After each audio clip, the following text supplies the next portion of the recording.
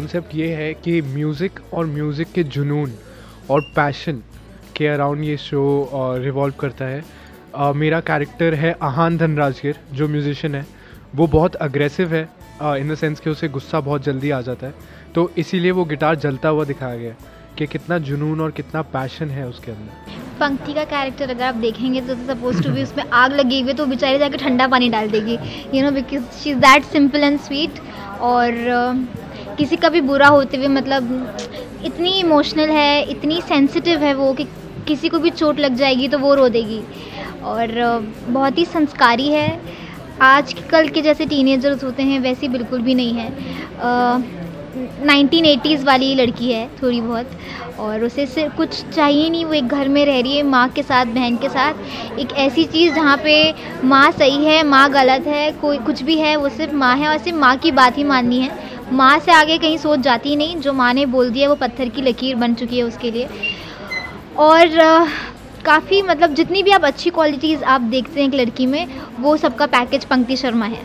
Okay आप, आप दोनों से जानना चाहेंगे दो चीज़ें जो आपको एक दूसरे के कैरेक्टर के बारे में दो चीज़ें।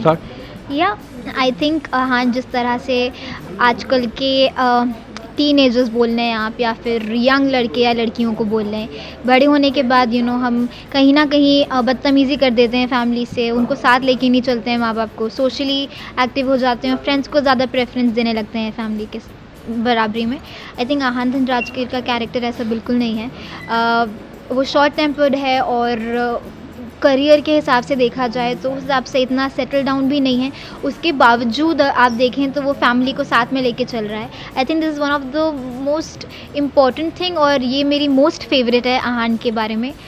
और दूसरी बात ही इज़ रियली पैशनेट दूसरी बात ये कि करियर में जितना उसको मिलना चाहिए, उतना नहीं मिल रहा है। उसके बावजूद होपलेस नहीं है।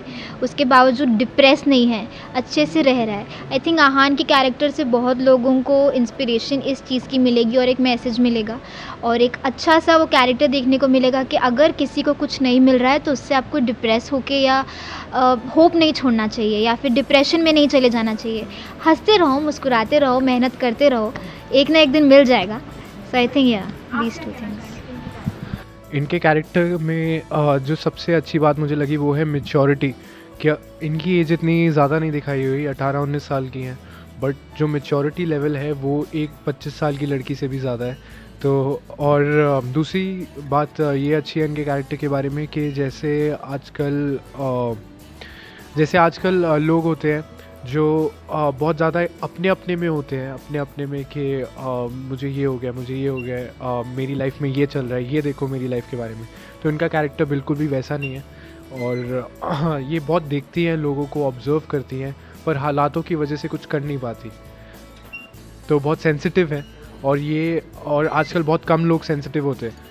तो ये एक बहुत अच्छी कैरेक्टरिस्टिक है इनकी कैरेक्टर आई थिंक इंटरेक्शन हुआ ही नहीं था जब मुझे पता है। मॉक के लिए पहली बार गए थे तो रेडी हो गए थे और डायरेक्टली सीन स्टार्ट कर दिया था। इनफैक्ट जब हमारा लुक टेस्ट हुआ था तो हमारे चैनल को कुछ पिक्चर्स चाहिए थे हमारे। तो बिकॉज़ हम जानते नहीं थे इंटरेक्शन नहीं हुआ था तो सिर्फ़ इतना पता है ऋत्विक नाम है इसका। तो हम ऐसे पोज दे रहे थे तो देवर लाइक अरे क्या कर रहे हो?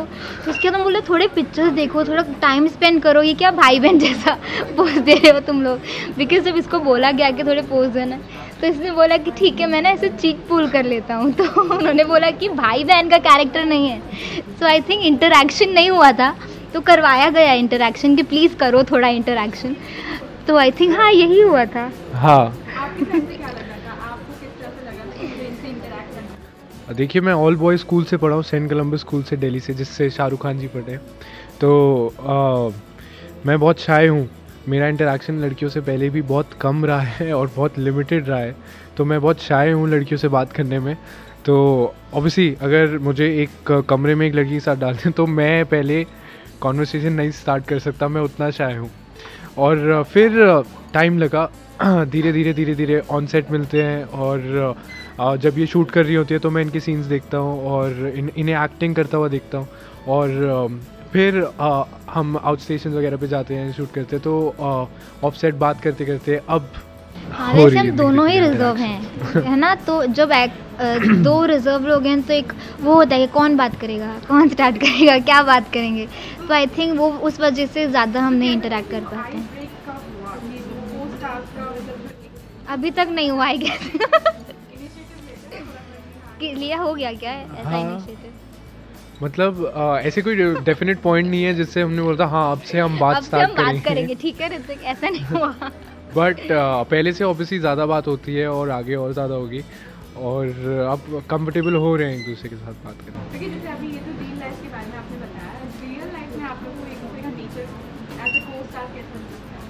मुझे बहुत प्रोफेशनल लगती हैं ये एज अ को स्टार और बहुत बहुत ही इंस्पायरिंग लगती हैं इन द सेंस कि इनको एक्सपीरियंस कैमरे के आगे मेरे से बहुत ज़्यादा है।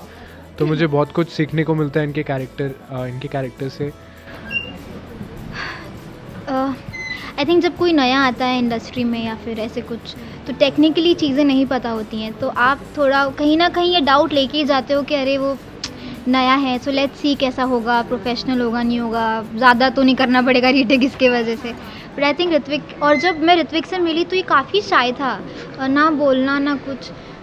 मतलब तो आप ऐसे एक्सपेक्ट करते हो कि अरे इसको तो एक महीना लग जाएगा कैरेक्टर में जाने के लिए यू you नो know, वो समझने के लिए कि एक्शन पे यहाँ आना है। बट जब पहला सीन का मतलब पहला टेक या कुछ भी किया सो ऋत्विक की तरफ़ से कोई प्रॉब्लम ही नहीं हुई। एंड आई वाज लाइक अरे तो जो मैंने सोचा था ना कि ये इससे होगा कि नहीं होगा ये तो बहुत ज़्यादा शाय है। वैसा बिल्कुल नहीं हुआ ऋत्विक को अगर आप ऐसे देखोगे तो लगेगा कि अरे ये कर पाएगा हान का बिकॉज़ यू नो हान थोड़ा एक्सट्रीम है हर चीज़ में थोड़ा वाइल्ड सा है। तो आई थिंक ऋत्विक काफ़ी अच्छे से कर रहा है और ऐस, पहले दिन से ऐसा लग रहा है सपोज़ टू भी एक महीने से वर्कशॉप चल रही है इसकी। तो आई थिंक ये काफ़ी थोड़ा अनएक्सपेक्टेड सा था मेरे लिए भी कि ऋत्विक इतना अच्छा कर लेगा। काफ़ी प्रोफेशनली करता है। ऐसा मैंने नहीं देखा कहीं पे लाइन भूल गया या मार्क पे नहीं आया या मेरी लाइट काट दी इसने ऐसा कुछ भी नहीं किया है। तो आई थिंक ये काफ़ी आगे जाने के बाद पर्सनली मुझे भी काफ़ी आगे जाने के बाद समझ आया। बट ऋत्विक का तो पहले से ही है। हाँ जी मैं थिएटर करता था स्टेज शोज़ वगैरह करता था तो थोड़ी सी सेंस है मुझे। ओके लास्टली जैसे कि दो अभी आपने जितने भी टाइम से एक दूसरे के साथ में ऐसी दो चीज़ें जो आपने नोटिस की है। ओके और फ्री टाइम में अ, जन्नत गाना गाती है ईयरफोन्स लगा के और अपनी दुनिया में खोई रहती है कोई मतलब नहीं है कोई जज कर रहा है कोई कुछ कर रहा है। ये चीज़ बोलने वाली थी ओके और गाना गाती हैं ये। और अ, अपनी फैमिली के साथ बहुत ज़्यादा कनेक्टेड है। अ, इनकी ऑब्वियसली मॉम होती है सेट पे या फिर डैड होते हैं तो उनसे उनसे बहुत ज़्यादा प्यार करती है और बहुत ज़्यादा उनके साथ टाइम स्पेंड करती है। एक चीज़ तो यही थी आई रिमेंबर अभी हम महाबलेश्वर से वापस आ रहे थे तो ऋत्विक बैठा था। ऋत्विक की आवाज़ नहीं आई छः घंटा कि ऋत्विक है गाड़ी में। इसकी एक ही आवाज़ आई, जाते time okay bye take care तो पीछे क्या कराता है कुछ नहीं करता है ये ना सिर्फ़ लगाएगा। और ये गाना भी गाता है तो एकदम से मैंने एक दो बार देखा। तो एकदम ऐसे ऐसे गाना गाता है ये।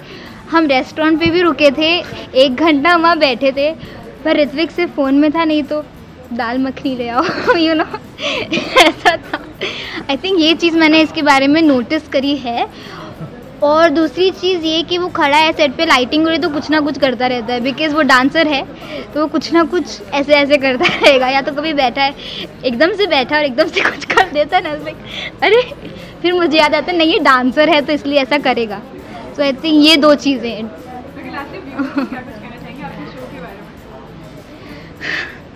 शो के बारे में के मेरा पहला शो है, मेरा पहला on screen on screen experience है। तो प्लीज़ मैं बहुत ज़्यादा मेहनत दे रहा हूँ, बहुत ज़्यादा प्यार दे रहा हूँ जितना मैं दे सकता हूँ इस शो को और अपना सब कुछ लगा रहा हूँ इस शो पे। तो ऑब्वियसली मैं एक्सपेक्ट करूँगा कि आप सिर्फ़ सिर्फ़ आधा घंटा निकाल के देखिए हमारा शो और एक आपकी रोज़ाना ज़िंदगी से आप एक कट ऑफ़ अगर चाहें, अगर एक अगर एक स्टोरी देखना चाहें, उसमें इन्वॉल्व होना चाहें, उससे सीखना चाहें तो प्लीज़ ये शो देखिए। Is unlike every show on television और जो मुद्दा हमने अभी तक के नहीं दिखाया है हमारे प्रोमो में, वो आपको फ़र्स्ट एपिसोड में देखने मिल जाएगा, जो कि इंडियन टेलीविज़न पे आज से पहले कभी नहीं आया है, पहली बार आ रहा है तो उस चीज़ की एक्सेप्टेंस हमें चाहिए। और जैसे कोई नई चीज़ करते हैं लोग एक्सपेरिमेंट करते हैं तो काफ़ी नर्वसनेस होती है। हमारे पीछे हमारी डेढ़ सौ लोगों की टीम को भी बहुत एक्सपेक्टेशंस हैं नर्वसनेस है हार्डवर्क है उनका, काफ़ी महीनों की मेहनत है। उन सब लोगों के लिए, हमारे एक नए एक्सपी नए एक्सपेरिमेंट के लिए, एक नई सोच के लिए आप तो आशिकी को प्लीज़ देखें।